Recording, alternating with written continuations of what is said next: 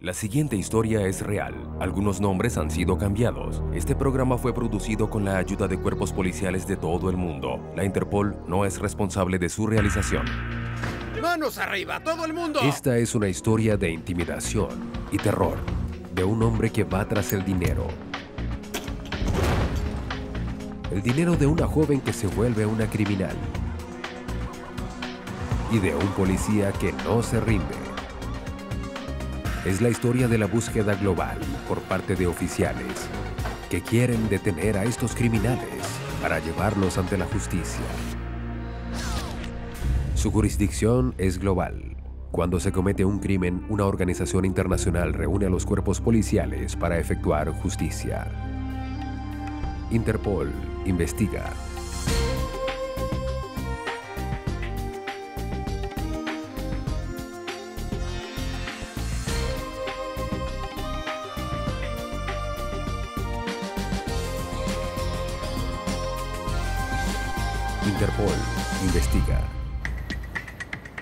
Malas compañías. Scottsdale, Arizona. 10.45 de la mañana. La situación es normal en un banco local. Pero luego, ¡Manos arriba, todos! ¡Tú también! ¡Levanta las manos!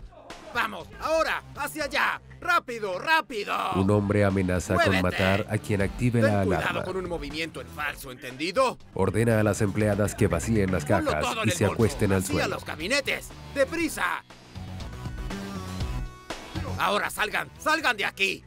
Al suelo ahora, boca abajo, boca abajo, rápido. Parece que quiere asesinarlas.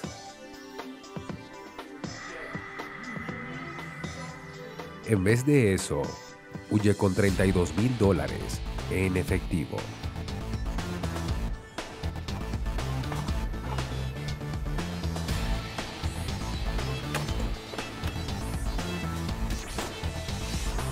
Las cajeras esperan que el auto se aleje y se apresuran a cerrar el banco y activar la alarma. ¿Activaste la alarma? Sí, claro. Atención a todas las unidades. Los oficiales que se encuentran más cerca tardan minutos en Unidad llegar. 1012 a Juan Bravo. Bien, voy en camino. 10-4. Tom Van Meter, del Escuadrón de Crímenes Violentos de Scottsdale, también recibe la llamada. Recuerdo que salí rápido de la estación, porque llegar a una escena y atrapar al criminal es el sueño de todo policía.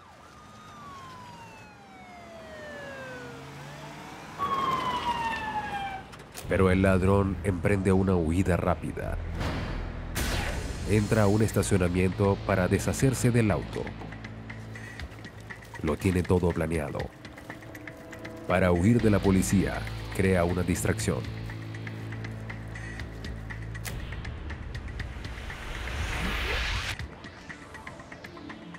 Si no puede escapar de ellos, puede al menos retrasarlos. Y desaparece tras una cortina de humo y confusión. El centro de emergencias envía a los bomberos al incendio, dejando pocos oficiales en la escena del crimen. Es mucho para la policía suburbana de Phoenix. Scottsdale es una pequeña comunidad en las afueras de la ciudad y no tenemos tantas unidades para atender cada llamada. Cuando el primer oficial llega al banco, las cajeras le relatan el robo. El ladrón llevaba una media en el rostro, así que solo pueden describir su ropa y algunas características. No es mucho, pero la policía lo difunde. La descripción coincide con la de un hombre visto en el auto, caucásico, atlético, castaño, vistiendo camisa blanca y jeans. Un helicóptero de la policía está en el aire. Se dirige a Scottsdale para ayudar en la búsqueda. Desde las alturas, el piloto observa un sedán oscuro que se aleja del área del incendio. El piloto de helicóptero, Larry Hallas, lo sigue y mantiene una distancia prudente. Sí, creo que allí está el sospechoso. Tratamos de ser lo más disimulados posibles al seguir este auto, ya que no queríamos que el sospechoso supiera que lo teníamos. Tratamos de ir tras él. pero no pueden pasar desapercibidos por mucho tiempo. Y Alas no puede llamar a la policía directamente. Depende de los mensajes para enviar su ubicación. En cada segundo se arriesga a ser visto. El departamento de policía de Scottsdale tenía un sistema de radio diferente al de la policía de Phoenix, y eso hacía difícil que las unidades en tierra obtuvieran la información a tiempo.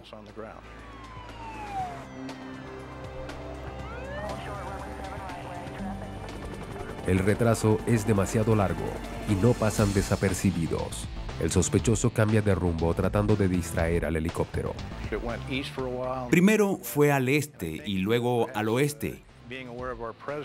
Creo que como notó nuestra presencia, quiso confirmar que lo estuviéramos siguiendo a él. Pero se mantienen siguiéndolo, comunicando su posición. Hasta que el auto se detiene en un centro comercial.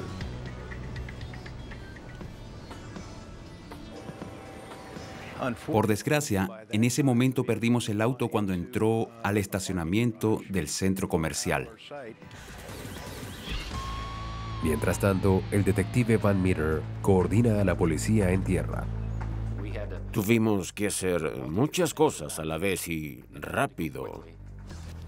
Mandé a varias unidades al banco. Mandé unidades al incendio para que registraran el auto allí. El FBI se unió a nosotros en el centro comercial y empezamos una investigación conjunta para localizarlo. En el estacionamiento, los oficiales encuentran el auto que el helicóptero siguió.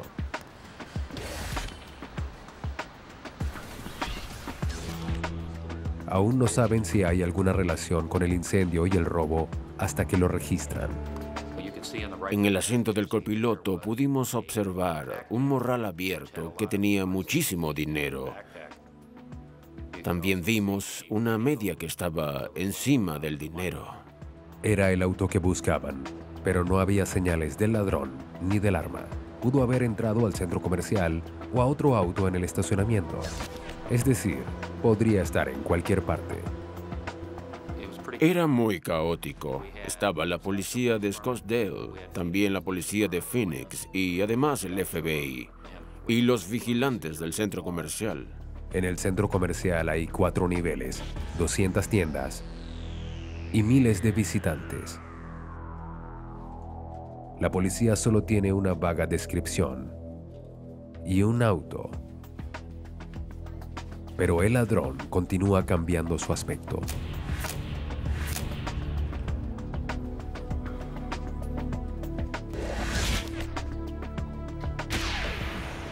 Van Meter descubre que el sospechoso hizo su investigación. Encuentra el recibo de un escáner policial. Monitoreó nuestra frecuencia de radio. Sabía que lo seguíamos. Es decir, sabía del helicóptero, pero tal vez no le dio importancia. Incluso pudo haber cometido algún error. Eso explicaría por qué dejó el botín. Dentro del auto, Van Meter hace otro hallazgo sorprendente.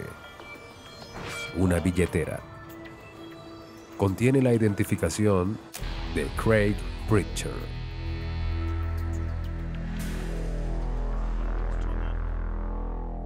Solo hace surgir más preguntas. ¿Es la billetera del sospechoso o él la dejó a fin de distraer a los investigadores? La policía aún no tiene idea, pero pronto lo descubrirán. Comparan el nombre de Craig Pritchard con la base de datos. Les dije a otros detectives que investigaran si estábamos buscando a alguien que robó por primera vez o si buscábamos a un peligroso criminal que estaba cerca del estacionamiento y posiblemente dentro del centro comercial. Sin importar quién sea, está armado. Se alerta a todas las tiendas sobre la búsqueda. Los empleados de una tienda de ropa masculina llaman. Un cliente acaba de comprar ropa nueva y dejó atrás la que tenía. Las prendas coinciden con la descripción original del sujeto. El tiempo pasa y la policía crea una descripción autorizada que envían a múltiples agencias de la ley y a todas las tiendas locales. Buscamos a un fugitivo descrito como caucásico de 81 kilos y 1 metro Van Meter coordina todo desde el estacionamiento. Parece una locura, pero cree que el ladrón regresará al auto. Me quedé cerca del auto. Antes había visto a sujetos rodear el área para luego regresar a su auto y escapar. Pero el sujeto es un camaleón. Van Meter se entera de que cambió nuevamente de ropa. No es un ladrón principiante. Analizaba todo, no tenía miedo. Él pensaría, ¿qué haré? ¿Cómo saldré de aquí? Y se cambia de ropa. Bueno, alguien me verá, lo haré otra vez. Un ladrón debe ser bueno para cambiarse tres veces.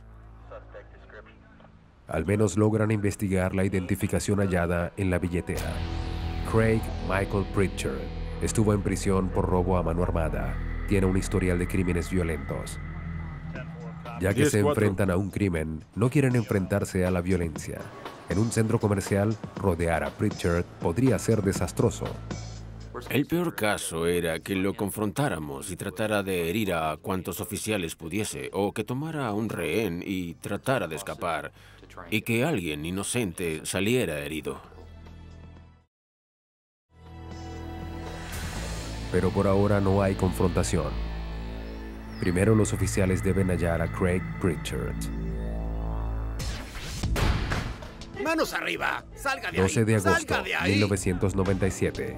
Craig Pritchard entra en un banco en Arizona, saca un arma y sale con 32 mil dólares en efectivo.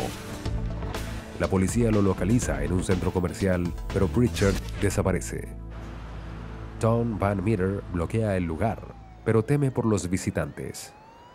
Estaba armado, era peligroso, tenía historial como ladrón de bancos y era muy violento.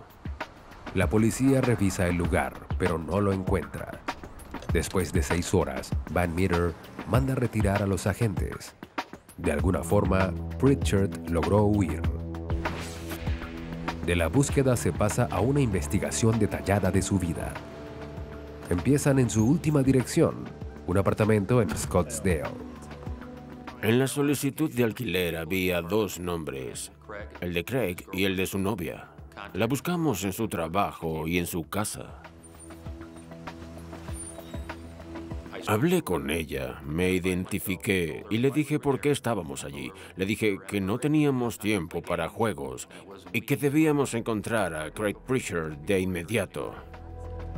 La joven sabía que Craig tenía historial, pero jura que no sabía que planeaba robar el banco de Scottsdale. Ella dijo que él la había llamado ese día, sonaba alterado y que no podría verla más. Ahora se explica por qué. Ella nos dio su información básica, quién era, dónde estaba, familia, amigos y conocidos. Luego enviamos oficiales a la casa de sus padres, al negocio de su padre y a la casa de su hermana. Vigilamos esos lugares pensando, ¿cómo saldrá de aquí? ¿Cómo dejará el pueblo? La policía pide ayuda al público. Tratamos de que la información se difundiera y que su rostro apareciera en las noticias. Esa noche, el noticiero cubre la historia. La policía cree que el sujeto se llama Craig Pritchard. Está armado y es peligroso. El plan resulta. Los empleados de un bar lo reconocen y llaman a la policía.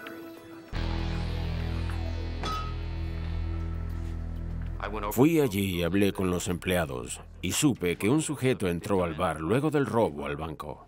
Dijeron que Pritchard tomó algunos tragos, hizo un par de llamadas mientras veía la operación afuera. Dijeron que miraba hacia la ventana a cada momento cuando las patrullas rodearon el lugar.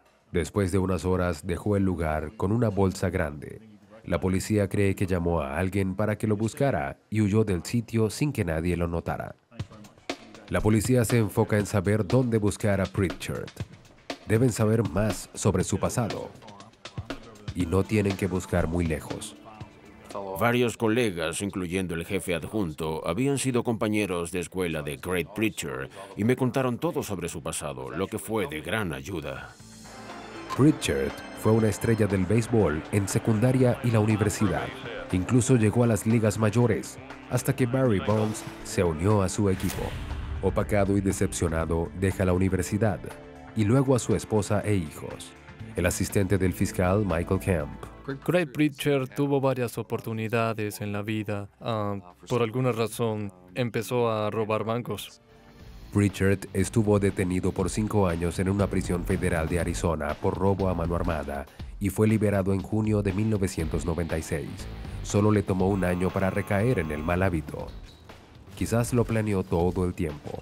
Normalmente el sujeto tiene un problema, como abuso de sustancias o deudas, pero no hallamos evidencia de ninguna de estas cosas y era un misterio el por qué se convertiría en un ladrón de bancos, aparte de que era una forma fácil de obtener dinero. Los investigadores registran hoteles, autos, cualquier cosa que dé una pista. El FBI se une ya que el robo a bancos es un crimen federal. Como estaba el FBI, se publicó un boletín nacional que daba una breve descripción del robo. También fotos de Craig Michael Pritchard y una descripción de él.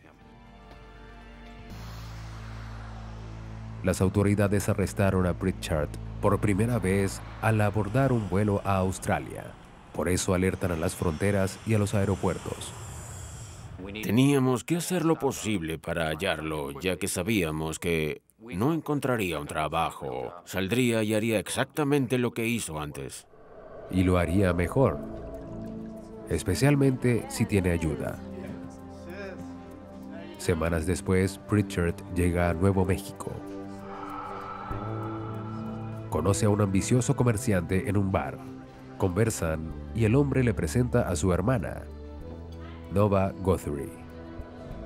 Ella y Pritchard se llevan bien. Nova creció en un hogar conservador. Graduada en la universidad, buscaba aventuras y con Craig las consigue.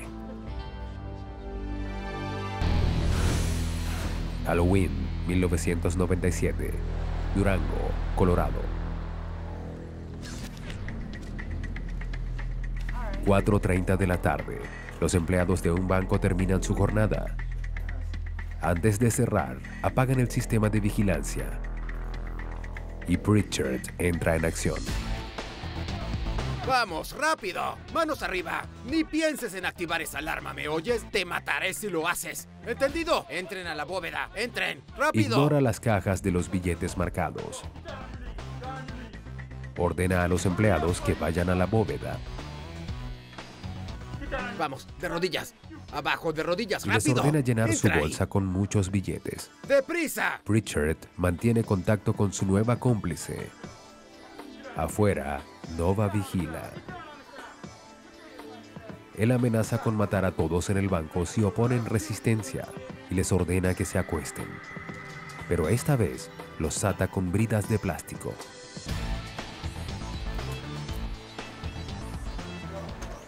Todo termina en un instante.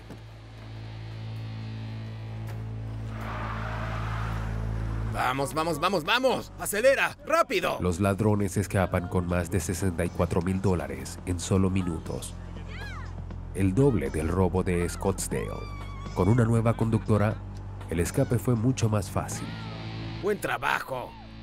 Cuando los empleados logran liberarse y activar la alarma, la policía de Durango corre a la escena. Sin saber qué sucede, proceden como una situación de rehenes. El detective de la policía de Durango, Tom Boyce.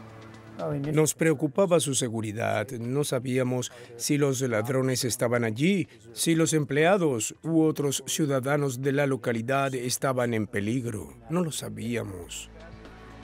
Se llama al banco para pedir que salga un empleado. FBI, ponga las manos encima de la cabeza.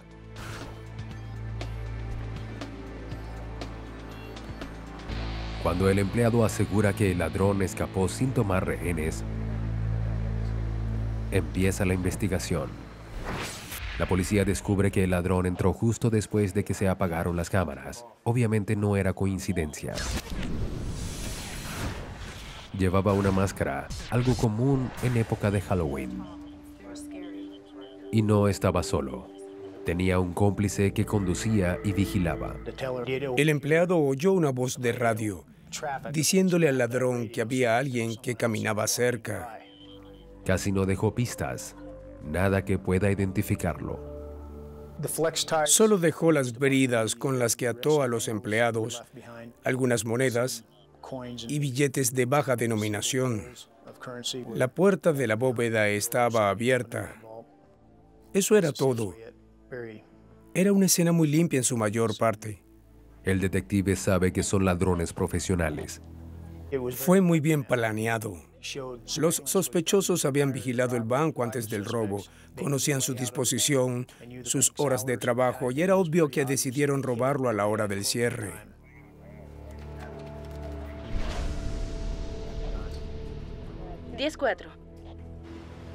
Un testigo en un interrogatorio afirma que el sujeto entró en un auto conducido por una mujer de cabello corto y oscuro, pero no anotó la placa, así que no era una pista sólida. Los escuadrones antirrobos del FBI suelen compartir información sobre casos no resueltos. Craig Pritchard concuerda con la descripción del ladrón de Durango y su personalidad agresiva. Pero cinco meses después, durante otro día festivo, hay otro robo. El 17 de marzo de 1998 hubo otro robo. En Aztec, Nuevo México, 61 kilómetros al sur de Durango. Ese robo ocurrió el día de San Patricio. Fue igual que el robo de Durango. Un hombre enmascarado vacía la bóveda y ata a los empleados con bridas de plástico.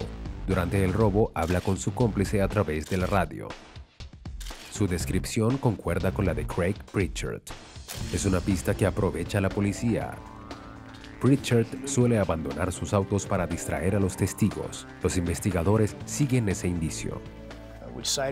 Decidimos revisar los registros de remolques. Descubrí que uno de nuestros oficiales remolcó un vehículo de un estacionamiento una cuadra al sur de donde ocurrió el robo. Los agentes usan el número de identificación del vehículo para encontrar al dueño original, quien explica que hace poco vendió el auto a una mujer llamada Nova Guthrie y a su novio. La policía descubre que la familia de Guthrie vive cerca. Afirma a los investigadores que tiene meses sin saber de ellos. Las autoridades ahora tienen dos sospechosos,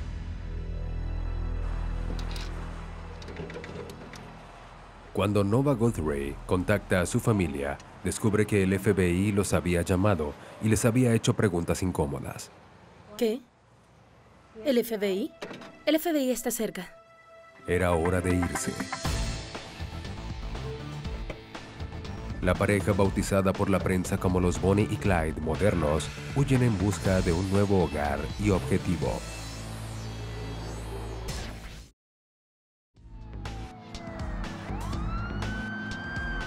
El FBI y la policía buscan a Craig Pritchard y a Nova Guthrie por una serie de robos a mano armada. ¡Vamos, vamos! Por eso la prensa los llama los Bonnie y Clyde modernos, idealizando la carrera criminal de la pareja. Ustedes, ni se les Pero el detective Van. Meter no comparte esta opinión. Cuando alguien te apunta un arma en la cabeza, te dice que te arrojes al suelo y empiezan a maldecir, a gritar y a insultarte, no sabes en ese momento si todo se acabará para ti. Craig Pritchard no es un héroe, es un peligroso criminal. La descripción hecha por la prensa de Pritchard como un carismático criminal no es acertada. Luego de fracasar como estrella del béisbol, Pritchard abandona a su esposa y tres hijos y comete varios robos a mano armada. Es atrapado, arrestado y liberado con una deuda de 100 mil dólares en manutención. Su cómplice, Nova Guthrie, tuvo una vida acomodada como estudiante y planeaba ejercer la pediatría, pero tras graduarse conoce a Pritchard y se enamora de él. Atraída por una vida de crímenes, abandona su carrera y su crianza en un hogar conservador. Pritchard no es el típico ladrón de bancos. Craig Pritchard analizaba todo, no tenía miedo. Se trata de un ladrón de los más peligrosos. La mayoría de los ladrones de bancos le entregan una nota al cajero, escapan con unos miles de dólares y son atrapados con rapidez. No es el caso de Pritchard.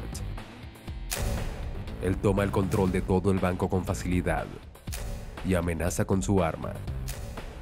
En estos robos existe el riesgo de que todo termine en un baño de sangre. Tom Van Meter sabe que es cuestión de tiempo para que mate a alguien. no se rendirá. Revisé su licencia de conducir cada seis meses. Lo investigué mediante sus hijos. Revisé los nombres de sus familiares. Se convirtió en algo personal y lo encontraré. No me importa lo que deba hacer ni cuánto me tarde.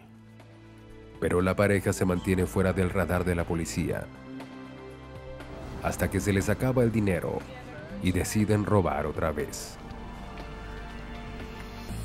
Esta vez van al noreste del Pacífico. Los empleados de un pequeño banco en Bend, Oregon, no saben que los criminales llegaron a su pueblo. El gerente Bill Olsen. Gracias. Era un viernes en la noche como cualquier otro en el banco. Hasta la hora de cierre. Dos minutos antes de las seis, fui a la puerta principal para cerrarla como lo hacía siempre. Pero allí termina un día común y corriente. Alto ahí, no te muevas. Ven acá, ven acá. Asegura la puerta, asegúrala. Tú, tú y tú. Salgan de ahí atrás ahora. Gritaba, era agresivo. Salgan de ahí. Nos mataría, nos volaría la cabeza si activábamos la alarma. En particular, la alarma silenciosa que alertaría a la policía. Tenía un escáner de radio y lo monitoreaba. Y decía que si activábamos la alarma, él lo sabría. Los empleados estaban entrenados para obedecer a fin de sobrevivir. No vale la pena ser un héroe o tratar de detener el robo. Uno se vuelve muy obediente y, y hace lo que ellos dicen. Cuando saca las bridas, Olsen recuerda un truco que aprendió. Cuando era niño veía un programa todos los sábados en la mañana y uno de los trucos que nos enseñaban era que si éramos atados, debíamos colocar las muñecas en cierto ángulo para que cuando ataran la cuerda, solo tuviésemos que rotar las muñecas y así nos liberaríamos. Deprisa, señora, no tengo todo el día. La El bóveda, ladrón a la ordena bóveda. a una empleada que abra la bóveda y llene su bolsa con billetes. Solo pidió dinero de la bóveda, nos dijo, no quiero dinero de la caja, sabiendo que estaba marcado y que había alarmas silenciosas que no podía atravesar. El asaltante se muestra agresivo. De vez en cuando apuntaba a los otros dos para mantenerlos asustados, creo, pero luego dirigía el arma a mi cabeza. Estábamos arrodillados cerca de la bóveda, sin saber qué pasaría, si él nos dispararía a todos o a alguno. El escáner suena, pero no hay noticias de un robo al banco. Debido a que estaba cerca de él, pude escuchar el ruido de fondo de la policía y de las diferentes llamadas que recibían. Deprisa, sal de ahí. Ahora, al suelo, al suelo y boca abajo. Pon las manos tras la espalda. Tras la espalda, donde pueda verlas.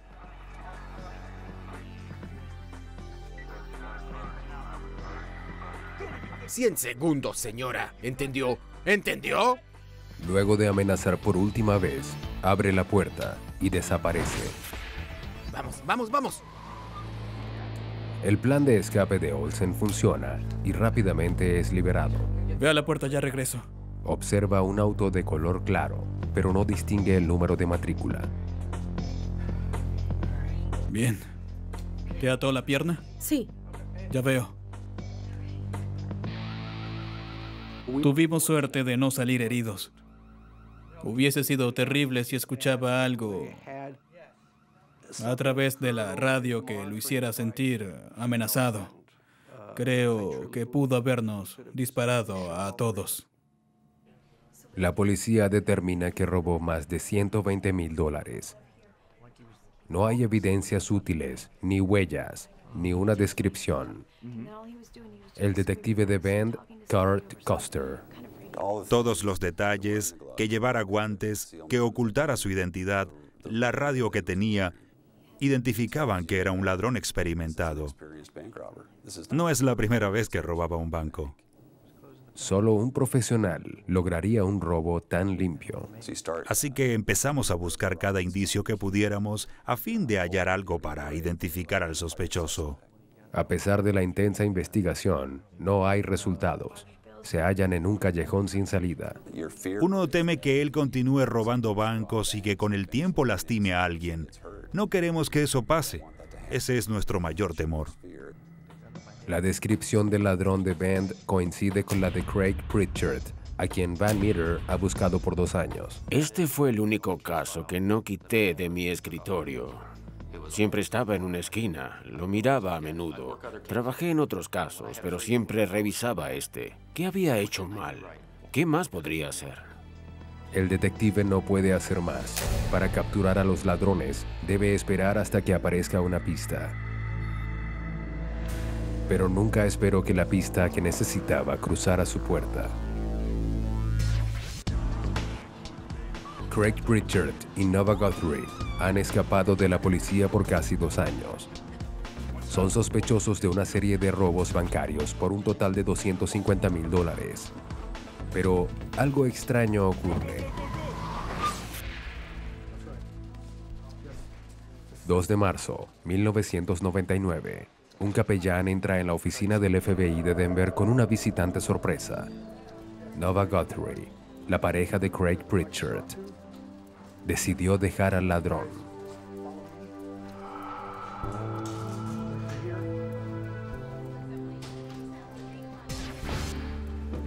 Su familia logra convencerla de hablar con su pastor, quien la incita a rendirse.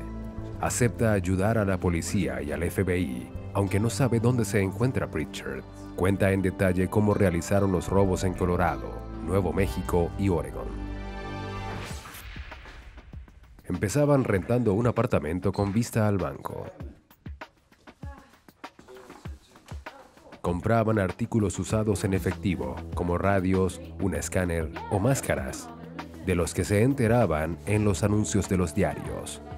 Pritchard pasaba semanas planeando cada golpe. El detective Kurt Custer. En ese tiempo vigilaba el banco, las horas en que abrían y cerraban, la disposición del banco y dónde quería que su cómplice lo esperara. Sabía dónde estaba la bóveda, dónde estaban los empleados, cuándo cerraban el lugar y a qué hora iban a casa. Iban en autos usados baratos. No robaban autos para no llamar la atención de la policía. Durante los robos, Nova vigilaba y conducía el auto para poder escapar. Él entraba en el banco con el arma. Se movían rápida y sistemáticamente para eludir a la policía. Después de cada robo, buscaban billetes marcados o dispositivos de rastreo. Abandonaban el auto y quemaban sus herramientas. Luego, huían en autos diferentes, dirigiéndose a la frontera o a un aeropuerto. Siempre viajaban por separado y se comunicaban por teléfonos públicos o correos electrónicos. Compraban identificaciones y pasaportes falsos con los que viajaban a Canadá, Europa y Centroamérica. No se quedaban mucho tiempo en un lugar. Guthrie acepta declarar en contra de Pritchard y el FBI la libera bajo el cuidado de su familia en Wyoming, lo que sorprende al fiscal de Arizona, Michael Kemp. Pienso que las autoridades creían que como vino por voluntad propia a cooperar y a prestarles asistencia, no escaparía si era dejada en libertad. Pero no entendían la influencia que tenía Craig Pritchard sobre ella.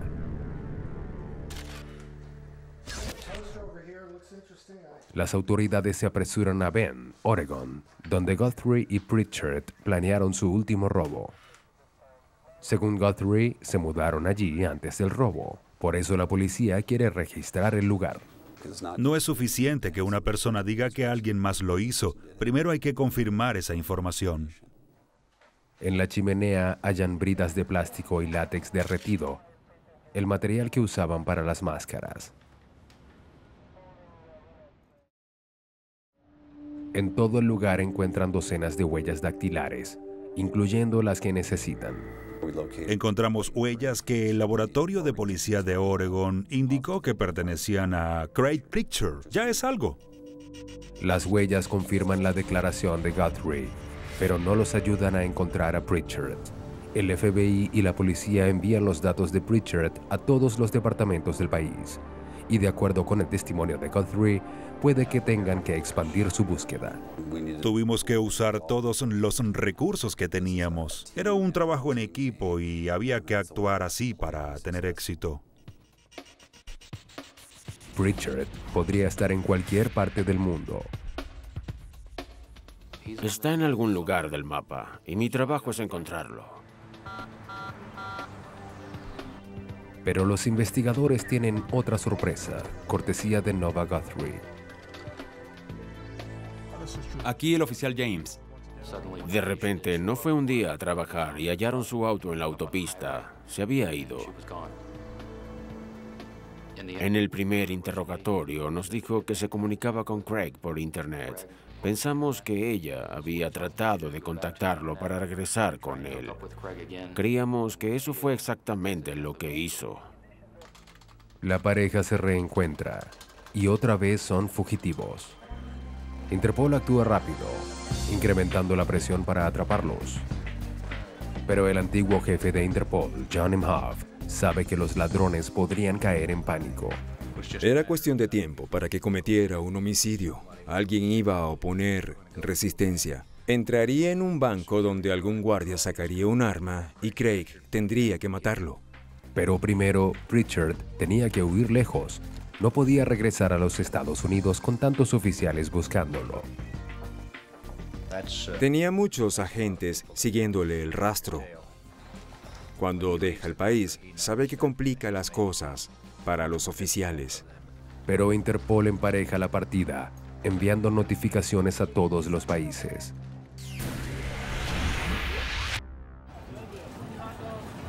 Nueva Escocia, Canadá, parece el lugar perfecto para esconderse, pero fotos de Craig Pritchard y Nova Guthrie circulan por todo el mundo.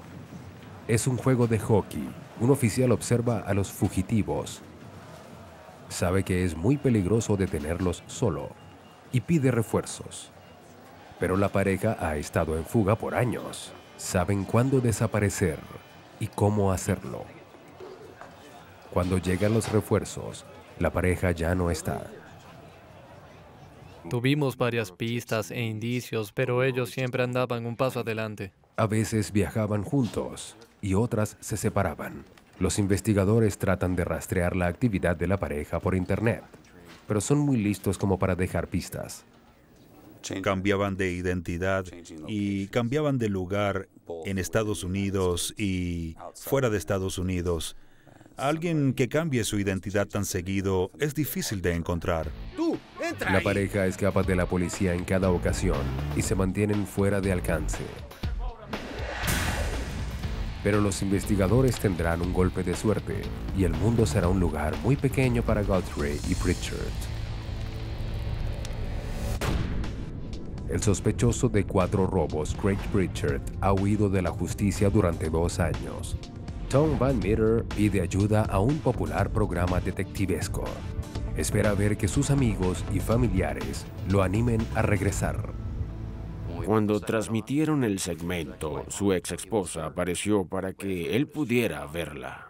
También sus hijos aparecieron, lanzando una pelota de béisbol, y organizamos un sitio chat esperando que él pudiera comunicarse para así localizarlo. El fugitivo no muerde el anzuelo psicológico, pero la policía espera que el programa y la subsecuente campaña los ayuden a atrapar a Pritchard y a su cómplice, Nova Guthrie. Repartimos casi 50.000 volantes con el servicio postal y enviamos su fotografía a las oficinas de correos. Agosto 2003. La táctica da frutos. Un sudafricano que se encontraba en Estados Unidos ve uno de los volantes, reconoce a los fugitivos y contacta al FBI. Conoce a Guthrie como Andy, la gerente de un club nocturno famoso en Ciudad del Cabo. Pritchard va a menudo a ese club y se hace llamar Dane. El testigo afirma que la página web del club muestra las fotos de sus empleados. Cuando supimos de la página, la visitamos y de inmediato vimos la foto de la cómplice de Craig. No había duda de que era ella. Van Meter ahora sabe por qué Pritchard no vio el programa. A Johnny Mohoff no le sorprende que la pareja haya huido a Sudáfrica. Cuando Craig Pritchard escogió Sudáfrica como lugar de escape, pensó que el hecho de que Sudáfrica tiene una gran población de expatriados, conoce el idioma y las identificaciones que pudiera haber conseguido para residir allí, así que no serían fácilmente reconocidas como falsas. Interpol y el FBI ponen manos a la obra. Contactan a las autoridades locales que están dispuestas a ayudar. Los policías son policías, y si hay un ladrón de bancos escondiéndose en tu país, aunque sea extranjero, vas a hacer lo correcto y lo llevarás ante la justicia. Interpol Sudáfrica debe actuar rápido y con discreción. Nilton Méndez de Interpol Sudáfrica. Sabemos que el mundo es muy grande. Hoy podrán estar en Sudáfrica, pero mañana podrían estar en otro lugar. Cuando hablamos de cambiar de identidad, obtener pasaportes o documentos falsos es muy fácil. No queremos hacer algo que haga que se escapen. La policía de Ciudad del Cabo, con el FBI, emprenden la vigilancia del club nocturno a fin de encontrar a la pareja. No tienen que esperar mucho para verlos. El detective Dietmar Kieberher ve a una mujer con la descripción de Guthrie y observa que tiene el tatuaje de un sol en la espalda. Estaba con un agente del FBI y le pedí que contactara a su agencia en Estados Unidos para verificar si esta persona tenía un tatuaje. El agente verifica su identidad. Encontraron a Nova Guthrie. La policía de Ciudad del Cabo espera que los lleve hacia Pritchard. Y lo hace, dirigiéndose al apartamento que comparte con el ladrón. Ahora deben determinar cómo arrestarlos sin que haya heridos en el proceso. Sí, ahí está. Muchos actúan como cuando se rodea a un animal. Estos se vuelven muy peligrosos. El nivel de riesgo relacionado con esa desesperación siempre aumenta. Los investigadores esperan. Vigilan a la pareja por varios días y averiguan su rutina a fin de atraparlos cuando sean más vulnerables. Nova y Craig siguen un patrón desarrollado para descubrir si son vigilados. Así que cuando Guthrie llega del trabajo, siempre llama a Craig. Ella le informaba que iba a casa y él se asomaba al balcón para observar si alguien la seguía. A pesar del plan de la pareja, la policía de Ciudad del Cabo los observa sin ser detectados. Cuando averiguan todo lo que pueden, se preparan para actuar. Un equipo táctico de arresto planea la operación. Actuarán cuando la pareja esté en casa, viendo televisión. Pritchard estará desesperado y posiblemente armado. Creen que estará listo para matar para proteger su libertad. Cuando estás ansioso y al límite, cualquier cosa puede pasar. Podría ser un desastre o podría ser un éxito. Hay que asegurarse de tener el elemento sorpresa cuando se efectúa el arresto. El plan funciona. Pritchard es atrapado con la guardia baja. ¡Manos arriba! ¡Manos arriba! donde pueda Entré y les informé que en Estados Unidos eran buscados por robo a bancos. Los llamé por sus nombres, Craig y Nova, y no por los alias que usaron. Respondieron a esos nombres, lo que confirmó que eran los sospechosos. Después de dos semanas buscando a Craig Pritchard, la policía al fin lo arresta sin problemas junto a su cómplice, Nova Guthrie, gracias a la coordinación de Interpol. Nilton Méndez es el jefe de la unidad de extradición de Interpol Sudáfrica. Queremos que el mundo sea un lugar más pequeño para los criminales en fuga. Que sepan que pueden huir, pero tarde o temprano los vamos a atrapar. Sean Van Meter esperó ese día durante seis años. Ahora debe extraditar a los fugitivos a los Estados Unidos. Nos aseguramos de completar el papeleo, de estar listos para realizar el proceso de extradición rápida y prudentemente sacarlos de Sudáfrica lo más pronto posible.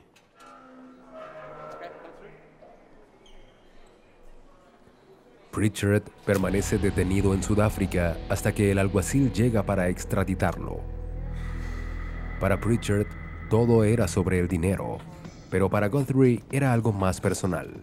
En el trayecto de vuelta a Estados Unidos, Nova Guthrie habla con la alguacil Brenda McLaughlin. Solo fui a transportarlos. No traté de sacarle información, pero ella dijo que se había dado cuenta de su error, de que estaba mal pero que lo haría de nuevo para estar con Pritchard.